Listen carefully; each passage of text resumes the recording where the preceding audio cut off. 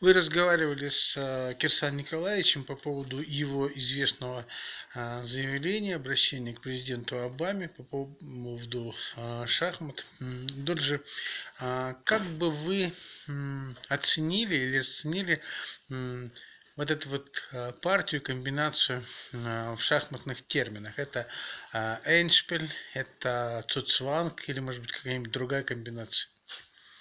Ну, если шахматной терминологии, скорее всего, будет, наверное, Виттельшпиль, потому что э, он обратился, вы знаете, да, к президенту США с просьбой предоставить ему гражданство. Он пояснил это, этот шаг тем, что чтобы судиться с, э, с чиновниками Минфина США, нужно быть гражданином США, иначе они иски не принимают. То есть он сегодня он подал иски, получил от них ответ, что иск принят. Вот. А чтобы судиться на равных, надо быть гражданином США. Вот теперь э, значит, вот эта вся история находится прям в самой середине. Либо ему дают там, условно говоря, гражданство и принимают иск, и будет, будет он доказывать свою правоту, в чем он уверен. Либо, значит, если он не гражданин, то иск, иск не принимается. Он, он сегодня так объяснил вам. Ну, вы понимаете, что а, вообще а, вот эта вот игра а, вне граждан Соединенных Штатов, да, то есть весь мир а, разделен на два лагеря, граждане и не граждане, да. Мы понимаем, что вот а, в этом а, движении или вот в этом а, ходе Кирсана Николаевича есть а, глубокие донья, и а, эти донья, а, собственно говоря, прозвучали не случайно накануне выборов а, в Думу. Тем самым экс-президент Калмыкии а, показывает, что, а, собственно говоря, накал политической борьбы или политического смыслового контента давно уже находится вне пределов России. Да? И он, собственно, говорит о том, что мы можем здесь играть в какие-то там фантики, какие-нибудь деревянные игрушки, но судьба решается там, за океаном. Да? И он как раз а, а, показывает всю гомеричность, а, всю хрустальность, ходульность вот той системы, которая, собственно говоря, предвыборная, которая, собственно говоря, ну, не собрала сегодня, не собрала сегодня аншлага, то есть она не, не собрала сегодня симпатии участников. Да? Вот, как бы вы оценили эту историю с точки зрения вот, глубоких доньев? Ну, сам Писатель Николаевич сказал, что он э, значит, умышленно это все отводит от политики, вот все свои действия, связанные с подачей там, с, с обращением к Минфину США, к президенту США, сказал, что он э, не политик, и шахматы вне политики. Ну, как шахматист он сказал, он все свои действия, все свои ходы просчитал, он идет к тому, что он даже сказал такую фразу, я готов сесть на электрический стул, если надо будет, чтобы доказать свою правоту. Я ни в чем не виновен, я и те документы, которые ему прислали из, департа... из Минфина США, ну это э, какие-то публикации из газеты Guardian, мои интервью, то есть его интервью. И вот на этом э, они сделали свои заключения, что он якобы там связан там, с, как... с какими-то террористическими организациями там и все такое. То есть можно совершенно четко понимать э, сейчас, что а, с точки, э, как читает слова э, Кирсана Николаевича, о том, что главное политическое событие а, выборов это то, что он назвал ход вне политики. Правильно я понимаю? Да, он ход вне политики, от шахмат отводит, ой, ша, политика от шахмат он разделяет, четко он сказал это? Вне политики шахматы. Мои действия вне политики, вне политики, это моя личная позиция, как президента Фиделов сказал. Вот, и но вы понимаете, что вы, вот сейчас есть а, фон а, выборов в Государственную Думу, главный законодательный э, ну, представительный орган, да, и а, в принципе ни одна из интенций от кандидатов на думские места не приобрела такой э, звучности, как э, фраза человека, не участвующего в предвыборной гонке. Да? Мы понимаем, да, что это посвящено предвыборной гонке, и это полностью аннигилирует ее э, возможные будущие результаты. Или вы по-другому думаете? Нет, я не думаю, что он это связывает как-то с умышленно связывает там, он не связывает это с выборами, он эти свои действия рассчитывать, так, чтобы доказать свою невиновность, непричастность к тем событиям, которые происходят на Ближнем Востоке, в чем его обвиняют. Он что даже на открытии, которое состоится вот, на открытии шахмат, шахмат э, матча на первенстве мира по шахматам, который откроется в ноябре 10 после выборов, ой, в ноябре 10, 10 э, ноября этого года, он пригласил и бывших президентов США, и, и действующего президента США. Ответы от некоторых, он сказал, получены, а от других ответы ждем, он сказал. Так что но ну, вы участвовали, Дорж, вы участвовали в предвыборной гонке, вы участвовали в э, праймерис. Э, э, скажите, как участник праймерис, э, какую из э, программ ныне опубликованных э, кандидатов в депутаты вам показалось бы наиболее яркой? Ну, говоря, я подробно не изучал программу кандидатов и партии. Но... но в то же время вы хорошо знаете, что сказал Кирсан Люмджинов. Я знаю, да. Что он сказал. Он сказал, что в шахматы вне политики сегодня, по крайней мере. Спасибо большое. Также во время э, работы Генеральной Ассамблеи был рассмотрен вопрос о проведении матча за звание чемпиона мира, который состоится э, с 10 по 30 ноября в Нью-Йорке, в Соединенных Штатах Америки, между Магнусом Карлсоном и Сергеем Корякиным. Было как бы много вопросов, место проведения, участия. Э, членов ФИДЕ, там, во время проведения будут э, из заседаний э, руководства ФИДЕ проходить. И я как раз в своем отчетном докладе и речи подчеркнул, почему значит, мы решили в Нью-Йорке провести, почему делегаты Конгресса тоже поддержали мое решение, хотя вот в связи вот с санкционными делами, моими вот стяжкой с Министерством финансов США и САФАКом, можно было перенести э, матч за звание чемпиона мира в другую страну. Так, например, когда на ноябре, 25 ноября объявили о том, что в санкционном списке, и члены ФИДЕ предложили перенести этот матч. Я сказал, что мы переносить не будем.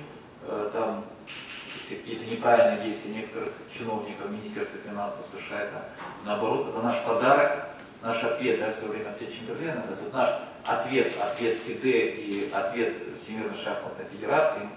Мой ответ как президента ФИДЕ, наоборот, мы туда идем, наоборот, мы будем проводить, мы хотим вот именно поднять престиж, имидж шахматной игры, ну, вернуть вот к этой шахматной горячке, вот в свое время, когда Бобби Джеймс Фишер э, стал чемпионом мира, когда он выиграл Бориса Спасского, хотелось вот этот ну, вот эту атмосферу шахматную вернуть, тем более э, много э, там шахматистов, любителей, и некоторые даже вот заволновались, такие как Лев Альберт, трехкратный э, чемпион Соединенных Штатов Америки, возглавлял сборную Соединенных Штатов Америки, он поддержал меня вот в моей тяжбе как бы с Минфином, он написал мне, Александр Николаевич, не обращайте внимания, там, на Минфин, вот, на шахматисты, любители шахматов, тут шахматный праздник.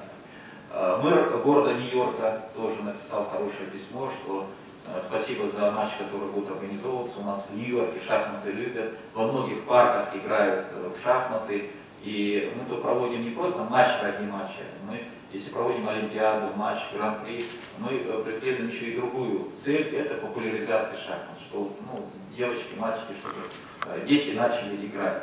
Э, в шахматы, полюбили эту игру. И параллельно с матчем за звание чемпиона мира в Нью-Йорке мы проводим несколько десятков шахматных мероприятий.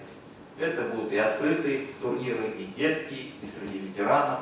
Это э, будет чемпионат и по решению шахматных задач и композиций. Это будут лекции, это будут мастер-классы, тем более э, мы уже определились, где матч будет, это в центре Нью-Йорка на Манхэттене.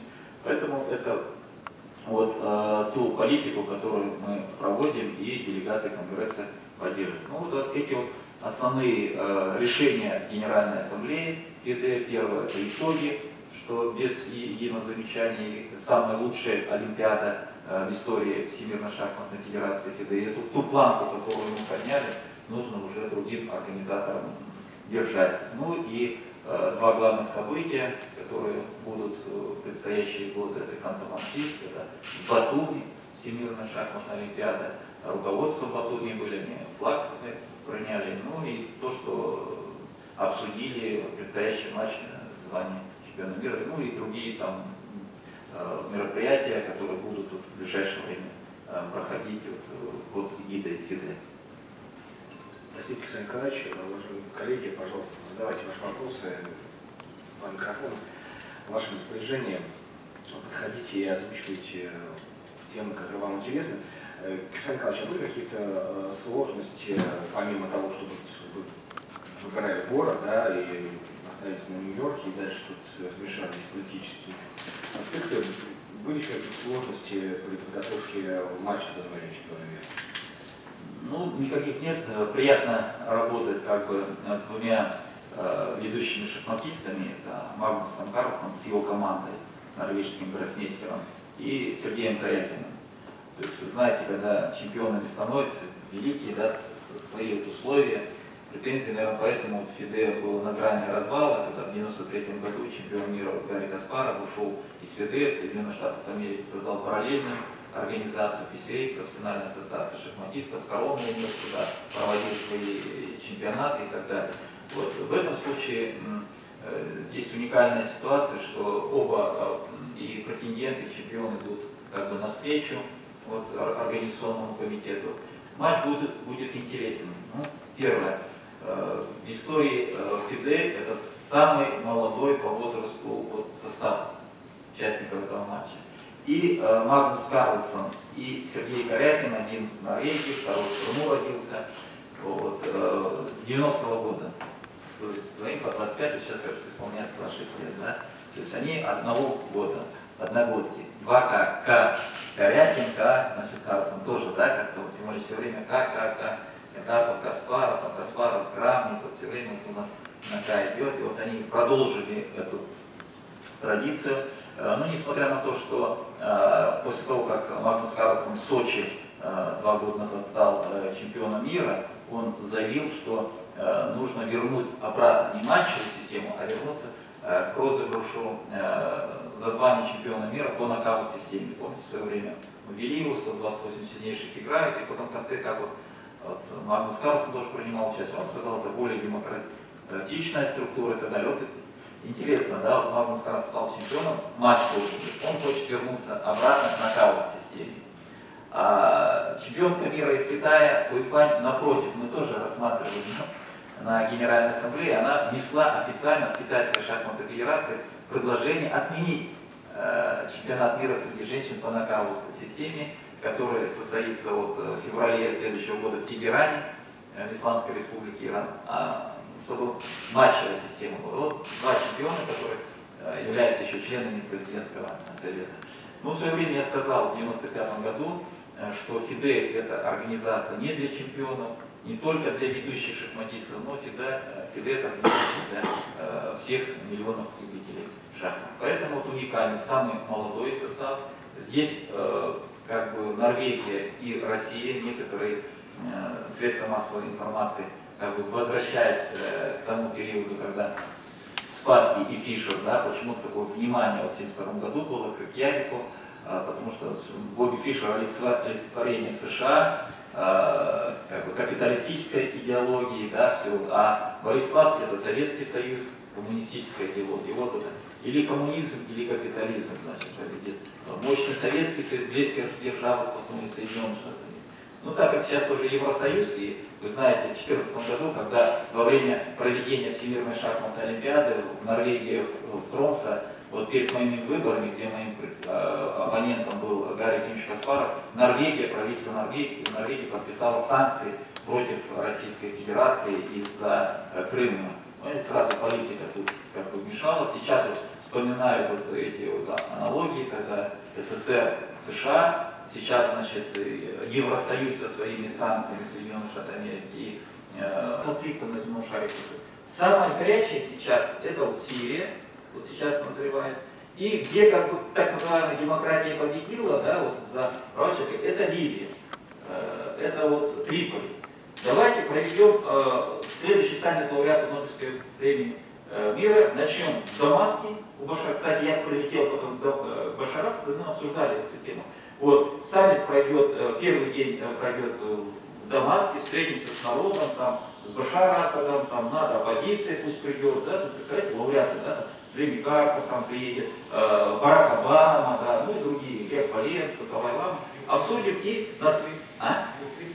А, Билл, а Билл Клинтон, кстати, был тоже вот на саммите в Чикаго, да, мы с ним разговаривали все, вот э, в Чикаго. И мы дальше перемещаемся из Дамаска, перелетаем куда хотите, в Бенгази или э, в Триполи, и там наглядно увидим, как вот то, что весь Еврос- Евросоюз, да, НАТО, там всё, как вот, вот эта демократия сейчас устанавливается там. И есть ли мир или нет. И тогда действительно всему миру, всему человечеству вы покажете, что вы действительно лауреаты Нобелевской премии мира, и Нобель не перевернется там в одном месте, дав вот эти вам деньги, а вы вот наоборот бомбардировщики туда ну, посылаете.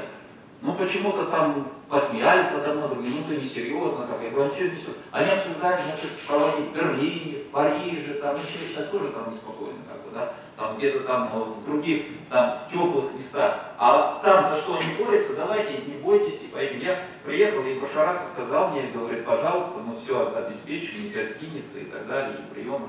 Вот. И здесь вот на, отвечая на ваш вопрос, это, ну, это э, позиция уже других руководителей. Я никому не обращался. У меня есть вот линия, правовая линия. Я поэтому даю интервью, ну, встречаясь со средством массовой информации, я хочу это превратить в публичную плоскость такую, да. А вот американская сторона, видно, что они вот как бы убегают. Ну, чиновники. Э, Я очень хорошо отношусь к Соединенным Штатам Америки. У меня очень много друзей там, среди конгрессменов, э, сенаторов, там, артистов с Голливуда. Вот Ричард Гир приезжал ко мне сюда, когда на, на встрече, там Чак Норрис в листе был, Стивен Сигел был, ну много-много артистов, политиков очень много. И они меня тоже спрашивают, я говорю, ну смотрите, как вы сами. Мне, я, хочу, я хочу своим кейсом, вот этим, своей борьбой или войной, или противостоянием с правительством Соединенных Штатов Америки, показать где-то вот, ну, может быть, недоработку и несостоятельность всей санкционной политики Соединенных Штатов Америки и Евросоюза по отношению к отдельным странам или к отдельным личностям или к отдельным компаниям. А тут дошло до того, что даже читая, э, перепутали ООО, там одно из месторождений взяли санкционный список. Ну, значит, э, не читают и не изучают вот э, конкретно дела. Сидят чиновники и клепают. Есть генеральная линия, значит, давить, душить всех подряд. Но в 21 веке, когда государства обладают ядерным оружием, и бряцать вот, на грани ходить, это не повод. И поэтому вот, лауреаты Нобелевской премии мира должны объединиться именно в борьбе за мир. Спасибо. Коллеги. Да, пожалуйста. Спасибо.